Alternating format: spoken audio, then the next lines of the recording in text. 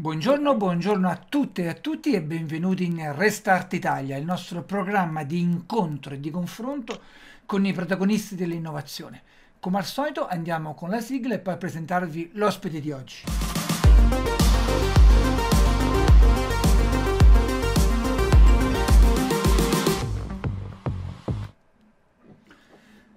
Allora, eh, eccomi che arrivo. Sì, l'ospite di oggi è un caro amico, una vecchia conoscenza. Abbiamo anche, abbiamo anche dei passati trascorsi, diciamo così, eh, comuni. E, e- e quindi con grande, con grande interesse, voglia e anche onore l'ho, l'ho invitato a farsi questa chiacchierata con me. Eh, sto parlando di Stefano Rolando, eh, eh, docente di teoria e tecnica di comunicazione pubblica, tra le altre tante cose che fa alla Iulme di Milano. Come stai Stefano? E benvenuto. Grazie, grazie per l'invito, sto bene, sono, guardo con stupore, qualche volta con dolore, ma anche con speranza la situazione che ci abbiamo attorno, pensando che siamo entrati in un anno in cui dobbiamo dismettere pensieri cupi e cominciare a, a riprogettare e a lavorare un po' come i milanesi del, del primo dopoguerra, alle ricostruzioni. Senti, appunto, dicevo anche esperienze comuni, beh, ne abbiamo fatte tante, anche professionalmente parlando, ma insomma quella del Censis è un qualche cosa che ci accomuna e che sicuramente forse, almeno per quanto riguarda una delle più importanti esperienze che, ci siamo port- che mi sono portato fino, fino ad oggi, insomma. no? Non c'è Senti, dubbio. Eh, Ha accompagnato una gen- delle generazioni il censo, quindi Eh, anche la certo. mia. E cosa stai facendo in questo momento, in Ma, particolare? Tu eh, sei sempre stato, sei sempre stato vulcanico in termini di sì, iniziative. ma, eh, guarda, eh, io mi occupo di un po' di, di- di queste- di questa materia che ha preso un po' di, che, che è declinata perché è stata a un certo punto invasa da, no- non è riuscita a esprimere tutti i ruoli e tutte le potenzialità che in fondo in Europa ha, ha- ha cercato di, di- di, insomma, di, avere, che a un certo punto ha anche avuto. In Italia è stata un po' compressa dalla, dalla politica da una parte, da una certa giornalistizzazione dei processi comunicativi pubblici, da un uso non sempre corretto della rete e pur essendo una marea oggi gli operatori di comunicazione pubblica vivono in sofferenza strategica. eh, non sono riusciti a entrare nei grandi perimetri su cui, per esempio, in Europa, in alcuni paesi europei sono entrati. Quindi la cosa che principalmente attraverso un lavoro sulla pandemia, che è quello che più mi ha impegnato in questi mesi, l'università mi ha affidato un osservatorio sul rapporto tra comunicazione e pandemia, questa cosa naturalmente il monitoraggio quotidiano offre infiniti spunti di confronto, cosa che mi ha permesso di produrre un paio di libri, uno eh, dedicato proprio alla pandemia come eh, laboratorio di comunicazione pubblica, un altro, una- un libro intervista con, un, con una figura molto esemplare della comunità milanese come Piero Bassetti, che però ragiona sull'innovazione e quindi all'occhio attento a capire cosa succede dopo, cosa c'è oltre e non semplicemente a guardarsi alle spalle.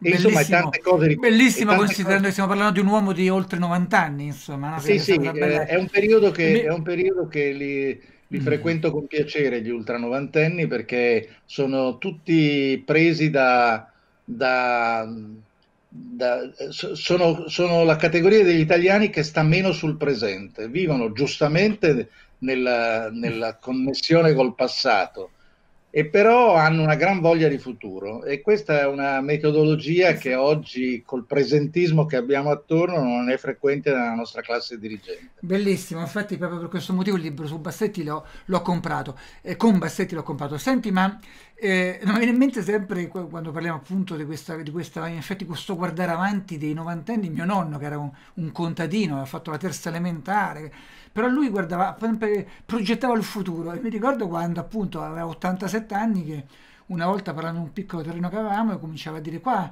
piantiamo questo, questo albero, questo fra vent'anni ci dà i frutti, quest'altro fra trent'anni diventa una bella pianta che... e io lo guardavo con un'ammirazione, un... da ragazzo non essendo capace di guardare al dopo domani, quindi queste tue cose che dici mi fa venire in mente... Ma, ma io penso proprio che, che... Ecco, vedi che questi sono spunti metodologici di fondo, perché stiamo annegando in questo presentismo impaurito, peraltro, e in cui la, la, la, la crisi della cultura delle riforme non ci fa progettare a lungo eh, né la politica né, né l'impresa né, e, e, quindi dobbiamo ricorrere a, a queste protesi insomma intellettuali che esistono ancora eh, inspiegabilmente sono più nelle persone anziane che nei giovani ma sarebbe ora che i giovani ecco, acchiappassero questo, questo metodo.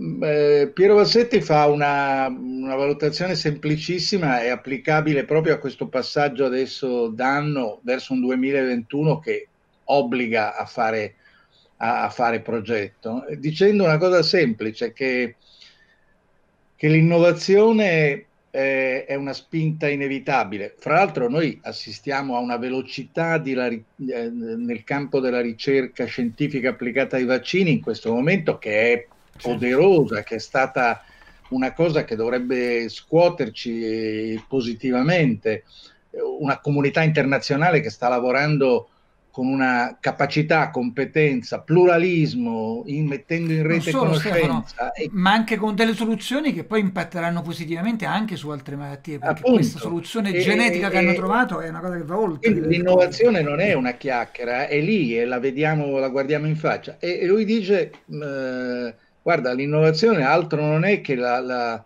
l'accadimento dell'improbabile il problema è che se eh, sull'improbabile non, non, lavoriamo mm, col pensiero, con la ricerca, col dibattito, perché abbiamo gli occhi fissi sulla nostra pozzanghera, eh, noi non ce ne rendiamo, non, neanche la percepiamo eh, l'innovazione. Questo Quindi, è, un po', è, un, è un po' certo, bisogna lavorare sull'improbabile e non fare pessimismo di maniera è, è, un po', è un po' il pensiero di Taleb con il suo cigno nero e soprattutto con l'antifragile. Cioè lui ti dice, dice proprio questo, eh, eh, l'improbabile arriva, siamo noi dobbiamo avere la capacità di gestire e di trasformare, eh, ed è il suo concetto di antifragile, eh, la persona che a delle, a una minaccia non solo non è fragile, non solo reagisce, ma addirittura l'antifragile eh, da, da, dall'improbabile crea innovazione. In effetti è interessante. L- l'ho letto anch'io e mi ha colpito. E nel senso che poi se vai a vedere le, le, nostre storie identitarie, io ho lavorato un po' sul tema del public branding e quindi sulla, sui processi identitari. Lavoravo su Milano in questi anni che ha avuto nel Novecento cambiamenti identitari eh, epocali più volte, quasi dieci cambiamenti eh, in stagioni identitarie diverse e vedevo che la gran maggioranza di questi cambiamenti sono avvenuti per mano del destino, non per scelta delle classi dirigenti.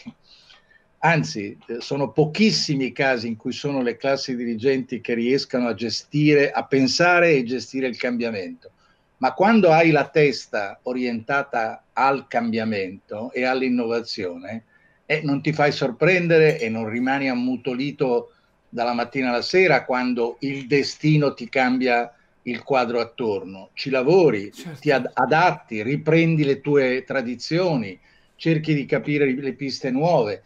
Insomma, una classe dirigente può farsi fregare dal destino, ma in maniera non irreparabile e quindi ha la possibilità di reagire e di riorganizzarsi. Questo fa la differenza e questo fa parte di alcune tradizioni locali, in un certo senso faceva parte anche di un certo DNA italiano. In questo momento il processo è, è, è bloccato ed è bloccato da criticità che parliamo, non sono solo parliamo... di ordine politico andiamo, andiamo, con ordine, infatti. Partiamo sì. da questo. Questa crisi cosa ci ha insegnato eh, rispetto, rispetto, a un'esperienza unica, particolarissima? Tu appunto hai, hai lavorato, hai, hai, diretto, hai, hai gestito e, e, e, ci sta restituendo il lavoro di questo osservatorio. Cosa ci puoi dire? Cosa ci puoi sintetizzare? Guarda, eh, eh, la parola proprio è giusta, che cosa, cosa, abbiamo capito meglio e che cosa ci ha insegnato. Detta proprio in, in soldoni, la prima cosa che ci ha fatto capire e ben più di una, per, per, ben più di una generazione è che eh, stiamo dentro una filiera storica delle epidemie di cui avevamo perso cognizione, traccia, eh, un, po un, po in, Europa ma in Italia. Io ricordo mia nonna che diceva a casa, mia nonna milanese che diceva ha fatto più morti la spagnola della prima guerra mondiale. Era la spagnola per quella generazione era una, un vissuto un vissuto importante, fra l'altro che si saldava con i danni della, della guerra e quindi era una continuazione di una tragedia. E poi però per 3-4 generazioni siamo stati risparmiati da tutto. Oggi eh, un intero paese, un intero popolo, parlo di, di, di, tutto il mondo peraltro, di tutta l'Europa, eh, si è trovata dentro una storia che è stata una storia straordinariamente importante nella vicenda dell'umanità, dalle pesti raccontate dal Boccaccio al Manzoni, dalle storie drammatiche di contrasto tra la, i flagelli e, e, e, e la di, la ricerca scientifica. E noi abbiamo una dominante della storia del mondo perso, di cui avevamo perso i significati. Ci siamo ritrovati dentro questa storia eh, epocale. Primo, e quindi abbiamo rimesso in, in fila, anche i giovani di oggi hanno rimesso in fila un percorso che era smarrito. La seconda cosa che io penso che abbiamo capito è che il bisogno comunicativo legato anche a un bisogno di spiegazione è, è stato forte, una domanda anche forte da, da, da, da parte della gente, ma una fragilità di risposta sia dalle istituzioni, sia dalla politica, sia anche dalle imprese. Quindi i processi comunicativi legati, che sono quelli di cui mi occupo, legati a istituzioni, politica e anche al mondo economico produttivo, è stato molto fragile rispetto alle attese e al bisogno della gente. La terza cosa in cui noi ci siamo trovati, eh, tirando proprio le somme a grandi linee, è che la pandemia ha riscatenato tanti dualismi che sono un po' la cifra identitaria anche del nostro, no, nostro paese. Eh, che ne so, eh, il, la conflittualità Stato-Regioni che si era sopita, l'abbiamo vista anche utilizzata per scopi poco nobili, trasferire, proiettare colpe, ehm, scaricare responsabilità, però abbiamo rivisto questo film di un dualismo tra eh, nazione e territori. Abbiamo visto un dualismo esprimersi a volte in maniera anche pericolosa nel rapporto tra giovani e anziani. Eh, abbiamo, eh, abbiamo visto, abbiamo visto eh, soprattutto un dualismo della domanda sociale. Ecco, tu sei un, un sociologo di, formato proprio su questo tema della, della domanda sociale. Beh, eh, noi abbiamo visto che c'è un pezzo della nostra società che di fronte a questa crisi mh, ha chiesto più spiegazione, più informazione, più responsabilizzazione probabilmente una domanda minoritaria. E abbiamo visto una parte sociale importante che si è accontentata, che, ha, che, che ha chiesto tutela, ha chiesto protezione, ma non è stata capace di chiedere più informazione responsabilizzante. E questo ci ha fatto vedere che questo dualismo, forse il più grave, dipende da un tasso esagerato di analfabetismo funzionale di ritorno che in Italia pesa abbassa la soglia della domanda di qualità e di conseguenza abbassa poi l'offerta di spiegazione, di accompagnamento, di responsabilità da parte dei, eh, dei decisori. In questo caso tutti compresi, la politica, le amministrazioni e il sistema economico produttivo. Eh, Stefano, l'ultima scusa, cosa scusa, Stefano, che vorrei dire... Però, scusa vorrei... Stefano, Stefano sì. eh, solo questo, questo, sul dualismo, beh c'è un dualismo che a me, tu sai che noi abbiamo il nostro, diciamo così, eh, interesse eh, eh, principale sulla pubblica amministrazione sulla, e quindi sul, diciamo così, sull'euro pubblico, c'è un certo. dualismo che mi ha molto impressionato, anche perché oltretutto anche fomentato, sostenuto, alimentato da persone su cui, insomma, di grande spessore, che il dualismo garantiti non garantiti, lavoro pubblico contro lavoro privato, che è una cosa che sicuramente ha, ha, ha esasperato anche questa, diciamo così, mancanza di coesione sociale in questo momento, anche perché io in un piccolo modesto pezzo dico, se entriamo in questa logica che mettiamo i garantiti contro, oh, contro gli evasori, cioè, cioè, entriamo in una logica di, di, di, di dualismo, anzi conflitto. Oh, un grande tema. Anzi, grande tema. Eh? Questo è un grande tema. È un grande tema che doveva, poteva essere utilizzato anche da, da, alla, dal governo, dai governi, per una forte eh, capacità di, eh, da una parte responsabilizzare, dall'altra parte premiare gli apparati pubblici. Eh, ci siamo limitati a, a, a, ringraziare quotidianamente i medici e, e, e, gli infermieri, giusto, ma molti altri settori del, del, dell'impiego pubblico hanno reagito con dedizione, io penso al mondo della scuola, pur frastornato, pur all'interno di cambiamenti quotidiani, ma in, in, coloro che sono stati messi uh, a prova dando responsabilità hanno dato delle reazioni responsabili, hanno capito di essere in un quadro privilegiato, hanno capito che c'era un pezzo della società che li guardava storti perché avevano dei, dei diritti e dei privilegi che non erano di tutti e dovevano dare, eh, dare prova del, del, della, della, loro dedizione al bene, al bene comune. Chi lo ha fatto, lo ha fatto con il plauso della gente. Non tutti sono stati messi in questa condizione. Da questo punto di vista, l'uso indiscriminato di task force eh, create con esperti Ehm, spesso anche come si fa in questi casi eh, selezionati in maniera fiduciaria ha un po' umiliato le amministrazioni. Eh, io non posso immaginare ancorché il livello sia sceso cambiato la qualità eccetera ma che certi presidi non possono essere esercitati ancora da risorse interne. Ecco l'idea di eh, eh, eh, come dire, eh, lasciare ai compiti esecutivi le amministrazioni e sostituirle sempre in queste condizioni di cons- consulenziali da eh, esperti occasionali, secondo me è stata una cosa deleteria dal punto di vista di responsabilizzare i, tra virgolette, privilegiati, attutendo così quel dualismo conflittuale che tu hai os- giustamente osservato.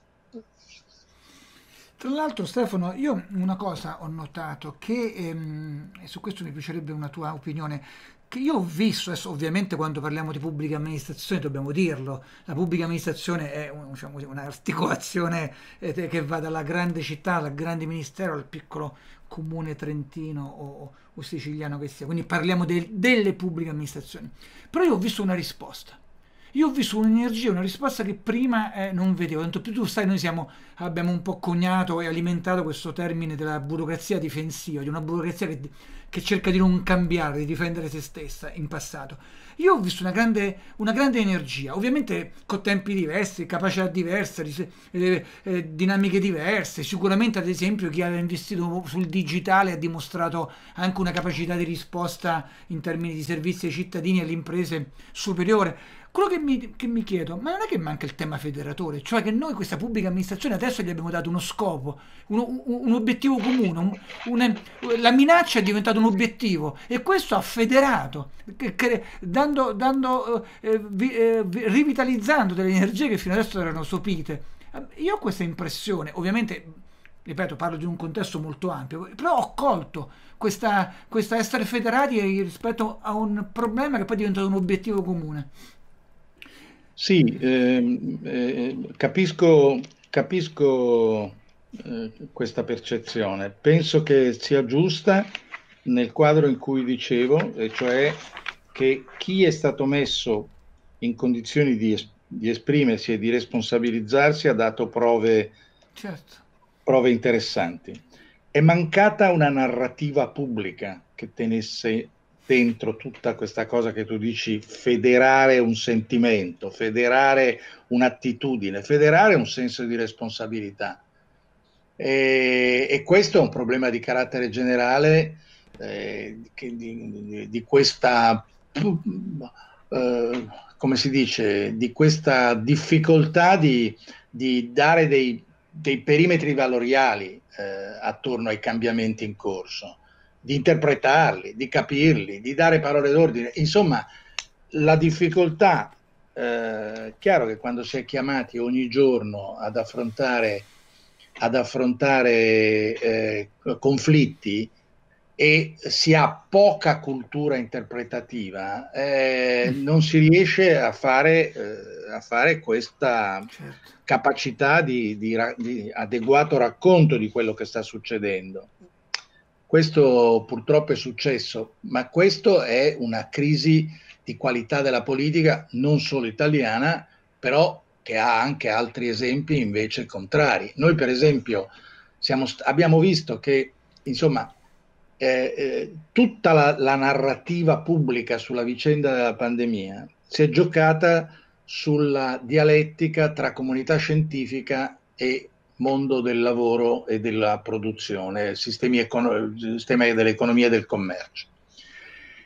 Questo confronto poteva essere salutare, intelligente, eh, un po' guidato e interpretato. Se tu lo vivi come una sorta di zigzag, eh, eh, come dire, prudenziale, in cui un giorno dai retta a uno, un giorno dai retta a un altro, un giorno adotti una, un pezzettino di una proposta, un giorno il suo contrario. Certo. Mantieni viva una, eh, un dualismo e una conflittualità, anziché fare una grande operazione di mediazione e di sintesi. E questo è un problema di risorse culturali del, eh, di, di, chi governa. E, e, e, quindi poi ti manca la capacità di raccontarla quella mediazione, di spiegarla, di mettere tutti dietro al, al, allo sforzo di tenere dentro le due istanze, non di accontentarne una il giovedì e l'altra il venerdì. Una città, va in, in, eh, una, una città in giallo il sabato e in rosso la domenica. Uh, un giorno devi dar retta alla comunità scientifica perché altrimenti hai un, una, una, una, crisi d'immagine e un altro giorno devi dar retta al mondo del lavoro e dell'occupazione perché ti rendi conto che stanno saltando i posti di lavoro il tentativo di, di, interpretare questa mediazione dipende da una qualità culturale che poi si traduce in una capacità di racconto. Lì abbiamo certo. visto fragilità, certo. abbiamo visto altri contesti, noi citiamo sempre la Germania, ma forse non è solo la Germania, in cui questa mediazione è stata non solo più forte, ma poi ha ripagato di più. Eh, da questa crisi pandemica eh, buona parte del, del, dei leader del mondo escono con le ossa rotte, la signora Merkel esce con un 82% di consenso del paese. Eh già, eh già. Senti, mm, quali delle misure straordinarie che sono state prese tu salveresti, ovviamente eh, ridattandole, però insomma pensando a, al dopo crisi, cioè, cerchiamo di, appunto, come tu dicevi all'inizio, di, vogliamo credere, siamo convinti che il 2021, quest'anno che abbiamo appena avviato, sarà un anno appunto di passaggio verso un dopo. Cosa manterresti come in un gioco, in un infantile gioco della torre? No? Cosa, cosa, cosa butteresti giù, cosa manterresti invece? Scusa se riprendo un attimo questa chiacchiera che sta in questo libro intervista con Piero Bassetti. Lui alla no, fine dice, lui, lui, fa parte di una categoria borghese or- orgogliosa, certo. tendenzialmente fa parte di una comunità come quella milanese che era tutta trascinata dal clima del successo, della trasformazione positiva, da Expo in poi, fine della cultura della malmostosità dei milanesi, tutto va bene ci si è trovati poi intrappolati in questo modello di obbligo al successo e certe, certi, certe gaffe sono state anche di ripetere quel modello quando ormai la, l'evidenza faceva vedere cose diverse. Lui dice prendere atto del ridimensionamento. Questo tema del ridimensionamento non vuol dire arretrare, vuol dire eh, abbassare i toni di, delle, di, di, un, di un, processo di, sviluppo velleitario e riportarlo a delle condizioni di metabolizzazione possibile. La metabolizzazione si fa quando ci sono sofferenze da metabolizzare, quando ci sono difetti da correggere, quando ci sono storture. Allora è evidente che in un momento in cui noi abbiamo la mobilità fermata, i processi eh, di velocità fermati, i processi di attrattività fermati, è evidente che il ridimensionamento vuol dire anche rimettere ordine nei parametri legati ai modelli di sviluppo. Quindi la parola ridimensionamento non è arretrare, è riordinare i parametri in maniera responsabile e metabolizzabile. Questo è il passaggio dal 2020 al 2021. Abbiamo davanti a noi riflettevo in questi giorni, un'agenda internazionale che ci riguarda come italiani, fra l'altro, certo. che permetterebbe di usare il ridimensionamento propositivo, la revisione dei modelli, quando si dice rivedere i, i, i paradigmi, i parametri, non sono chiacchiere, eh? sono rimettere in sintonia il grosso dell'opinione pubblica, un, diciamo la condizione di un popolo in una metabolizzazione di questa grande difficoltà in cui ci si è trovati. Centinaia di migliaia di posti di lavoro saltati, piccole e medie imprese che sono al limite della chiusura. Eh, le, non sono cose eh, che tu eh, risolvi con quattro chiacchiere, le risolvi con una, eh, una rigenerazione. Allora, ne dico tre che l'agenda del 2021 letta con una, questa cultura del ridimensionamento e della riprogettazione ci offre. Forse tra qualche giorno viene convocata la conferenza sul futuro dell'Europa. Non sto parlando di una conferenza che durerà due giorni e tirerà fuori un comunicato stampa qualunque. Sto parlando di una conferenza che durerà due anni e che rimetterà in discussione tutti i temi di governance dell'Europa, che metterà in discussione il discorso delle competenze, delle velocità, della, della flessibilità dei processi decisionali eh, dell'Europa, che rimetterà eh, in tensione un'economia che sta per indebitarsi in maniera colossale quindi la conferenza del futuro dell'Europa è una cosa nella quale o noi ci siamo dentro fino al collo in maniera da coprotagonisti o un'altra volta ne subiamo semplicemente gli effetti perché saranno altri gruppi dirigenti a promuoverla. Abbiamo in agenda la conferenza mondiale sul clima a, a, novembre in Scozia, dove caduto Trump tutta la filiera occidentale ha di nuovo la possibilità di rimettere mano a, a alcuni parametri dei modelli di sviluppo industriali. È un'occasione straordinaria. Abbiamo questo G20 a presidenza italiana.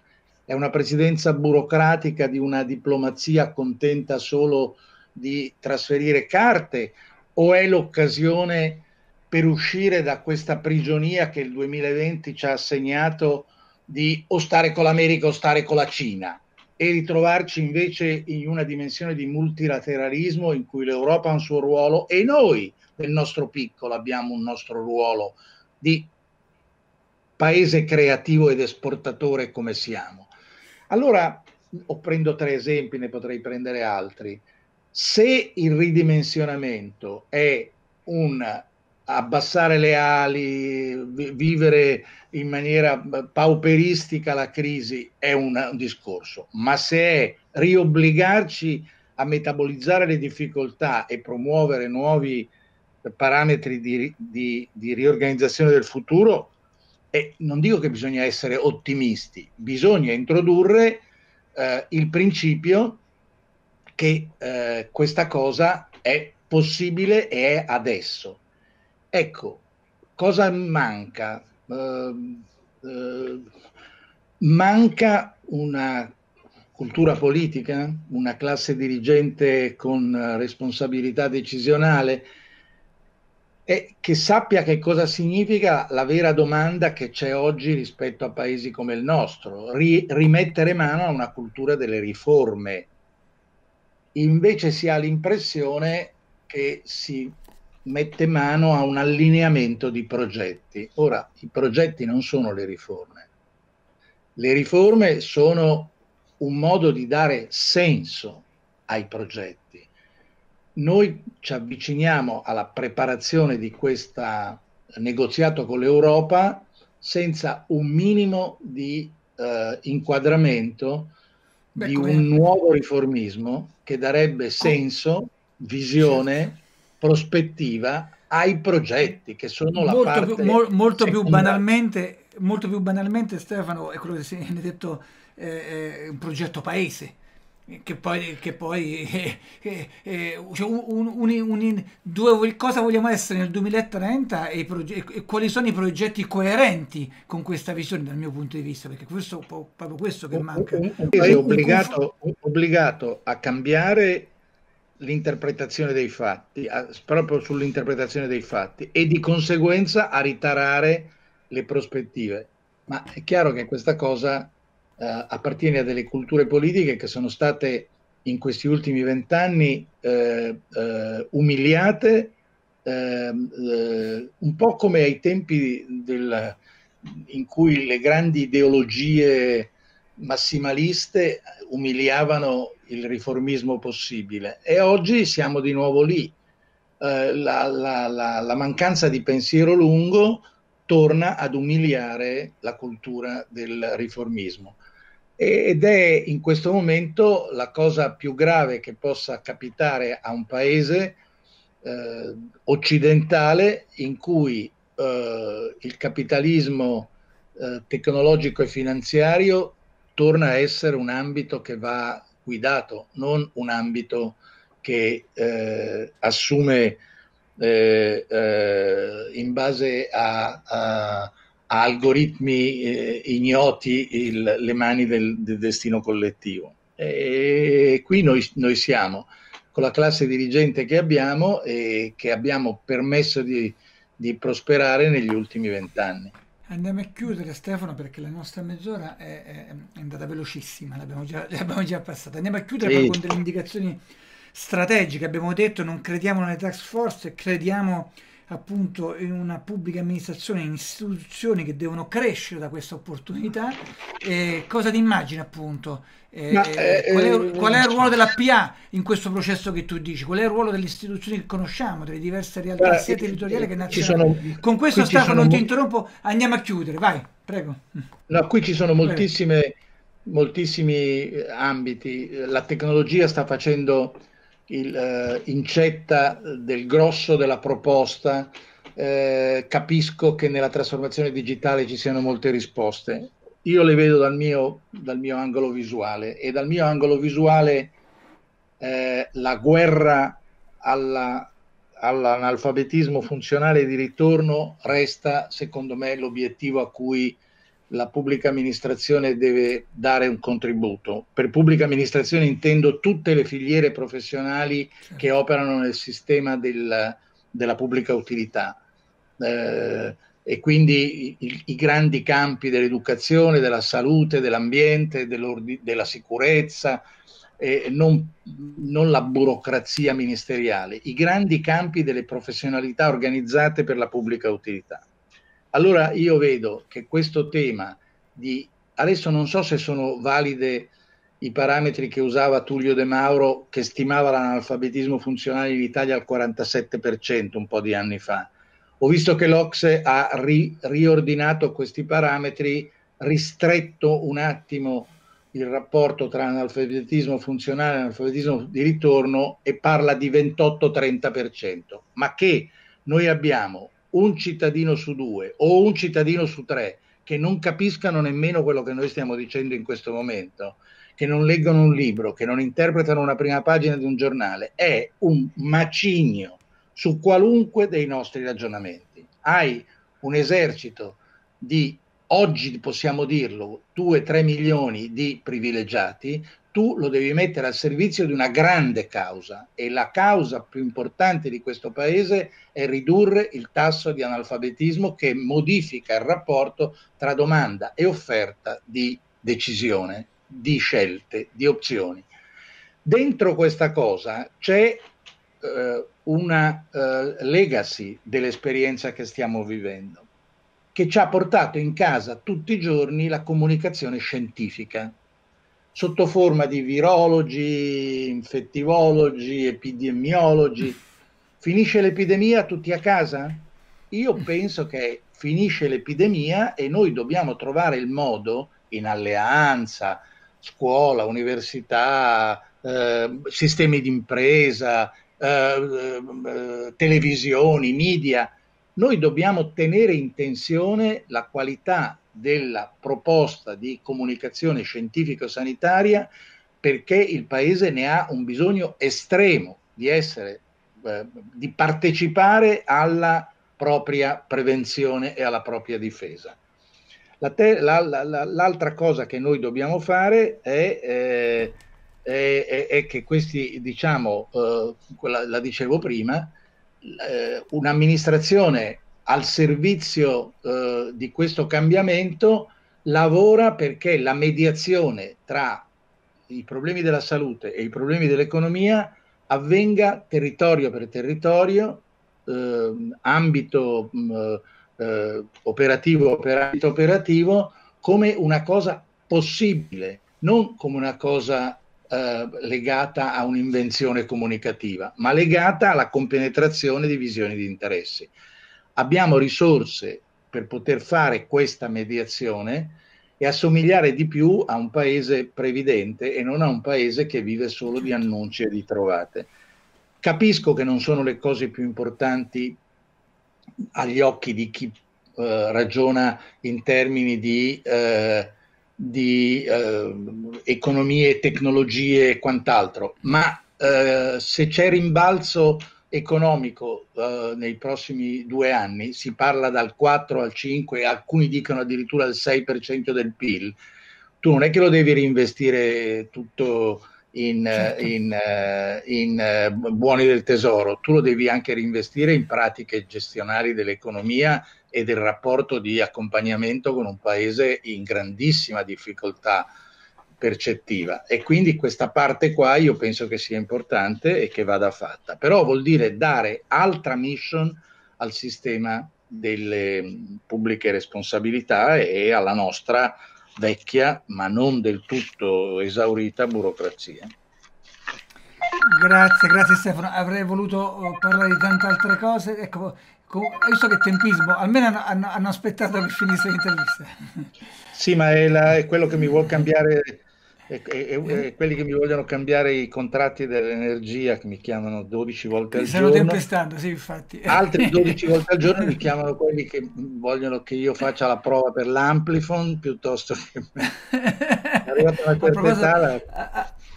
Dico, avrei voluto parlare di smart working, avrei voluto parlare di scuola, avrei voluto parlare di Milano e di tante altre cose, ma il tempo, il tempo è questo. Sarà un'altra occasione. Grazie, una bellissima chiacchierata. Ringrazio Leonora Sisci come assistente alla produzione. Sì, molte grazie, Maurizio... è stata molto carina.